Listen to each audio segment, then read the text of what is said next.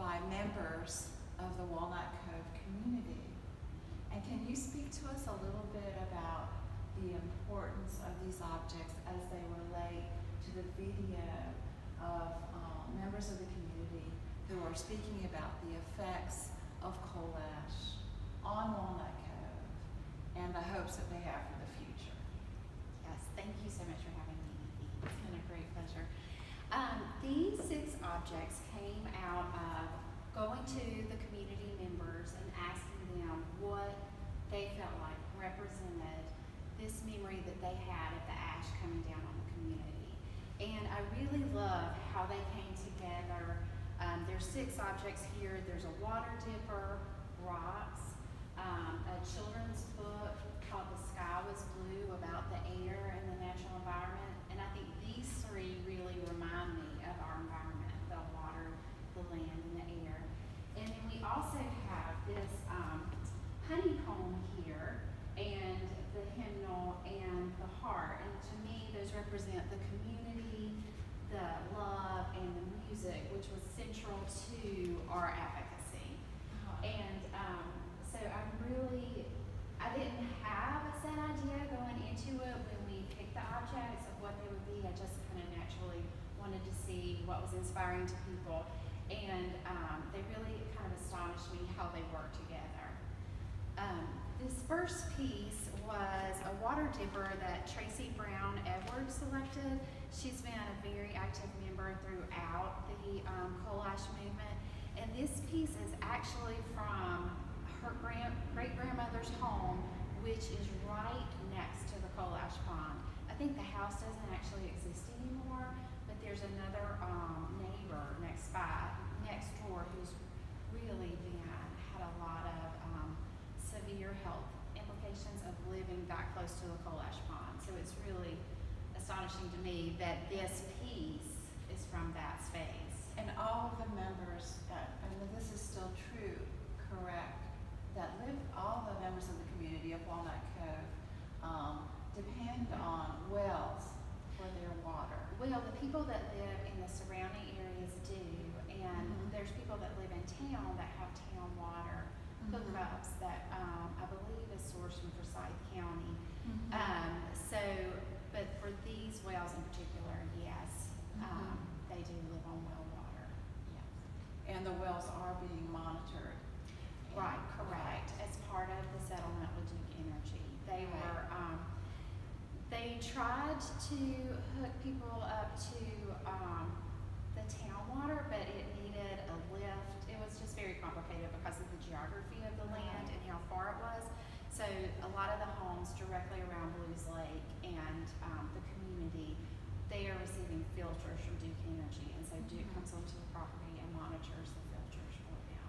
Right, and I know that some members of the community, they still question, they, they have a lot of questions about, still about the quality of the water.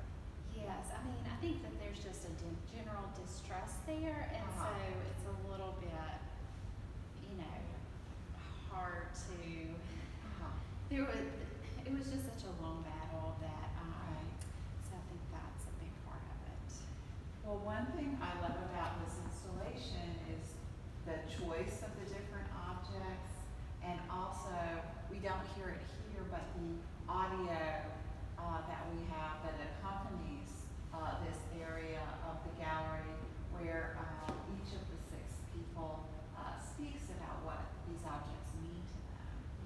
Yeah. And then we also see their faces on this video. The portraits were taken by um, Will Warasila, who is also an exhibiting artist in H2O. Yes. So, um, I, I love how the audio stories really kind of, you get to hear everyone's voice and share their stories. It's just, I think it really adds so much to the exhibit and really Mhm. helps make the community central to this exhibit.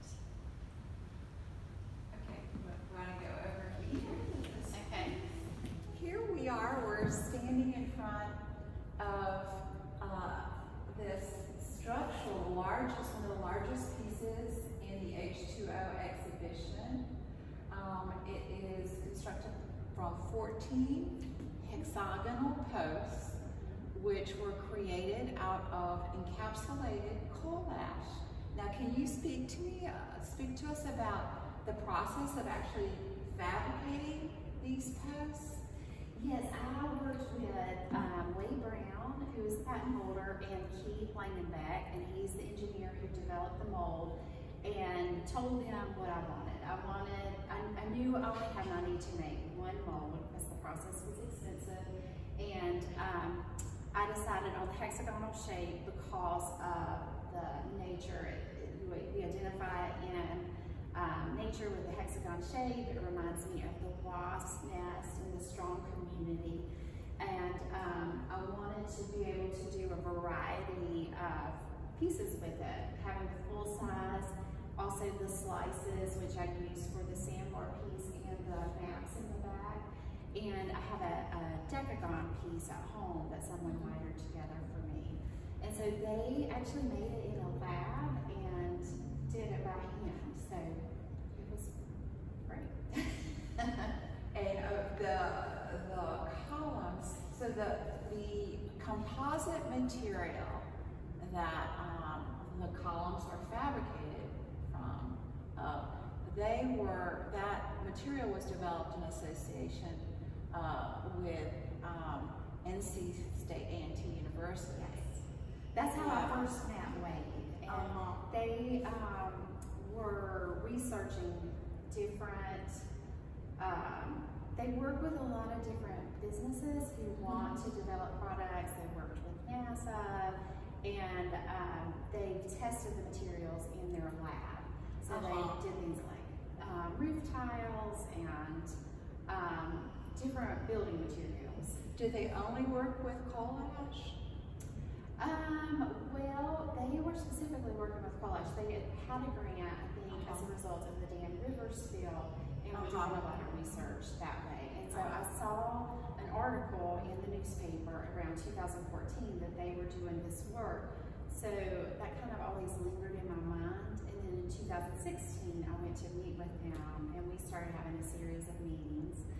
And um, with um, Dr. Kunigal Shivakumar, and um, then when this grant came up, the Creative Placemaking Grant through ArtPlace America, I asked if I won, if they would make art with me, because it was a sizable grant. And Uh-huh. they said yes. Yeah, so you had already approached them before you got the grant. Were already investigating. Yes. This isn't, uh, you know, this idea of combining art, uh, and, uh, uh, coal ash recuperation and reuse or encapsulation as they speak about. Yes. So I, you know, for a year, I always wanted to ask them to do art, but I knew I just didn't really have the nerve, honestly. so, well, you know, but once there was money, it was different, and so that that you know really opened the doors to being able to do something different. So a visitor, a colleague just came in and she was saying just the experience of walking through uh, this space that you created in the gallery was really quite moving to her. And I know she's very close to um, the situation in Walnut Cove, but can you speak a little bit? This kind of reaches beyond Walnut Cove to the entire um, coal ash situation in North Carolina, the state of North Carolina. Right. This piece to me has, um, there are eight posts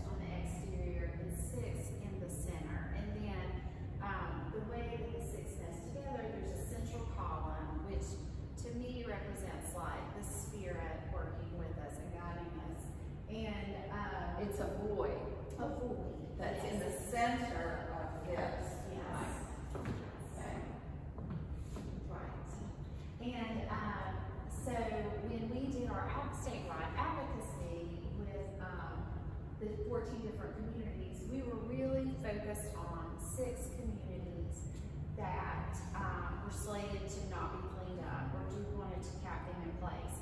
So each community, you know, everybody wants the coal ash removed from the, the unlock pit. So this six, this group of six were really um, came together and fought together. And so I feel like these eight postal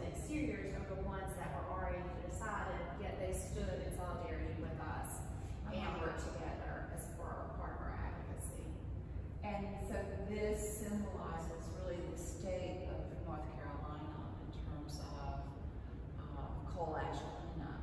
Yes. And the hopes that the citizens have. Yes, yes. And also, it, uh, to me, it feels like, you know, a very sacred space where you can walk in, around mm -hmm. it and pray. And, um, you know, there's a lot, been a lot of loss around throughout the state. And so I like the idea of being able to prayers in the center post. Um, we haven't actually done that yet, but I think that it reminds me almost like a wailing wall.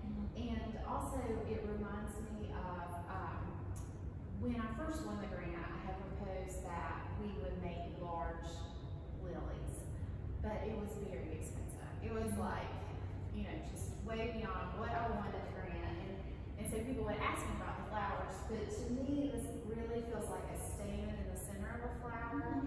And, um, over the last few years, I've noticed flowers that come up out of the ground, they, blo- but they, they don't come all the way up, they, they bloom in the earth, have you seen that, where the body is still, you know, in the ground, and so to me, it's a little bit disturbing but beautiful at the same time, and so this kind of reminds me of the flower, the stamen and the petals, sort of breaking through the earth, but not fully developed.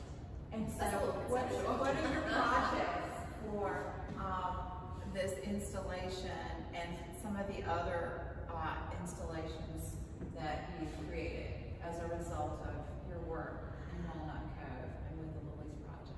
Well, we're hoping that, um, one thing we're hoping to do is that this could become a business to make low-cost housing with the materials because they don't mold or burn or attract. And they can be nested together in a very tight configuration that works better than a lot of building materials and costs less than, you know, materials now. And would not have to be put somewhere else. Right, exactly. Um, and then also, um, I call this piece a labyrinth because labyrinths are an important theme throughout, um, the Lilies Project, and there are two installed in Cove. So we're also, um, starting an NIH study about using labyrinths as a form of, um, as a tool for climate resiliency, like people use, um, Uh-huh. labyrinths for hospice. Uh-huh. And then, um, we're also doing a greenway in Cove. I'm trying to think of what else we're doing. And you're hoping to travel.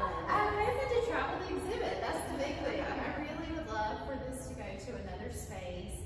Um, it'd be great to have a permanent home or to have a traveling exhibit. Um, over 1,400 coal ash communities the United States, and I think this is a great exhibit that really centers the community spaces and it talks, it brings awareness to environmental justice as well. Well, thank you so much, Caroline. Thank you. Keep up the great work.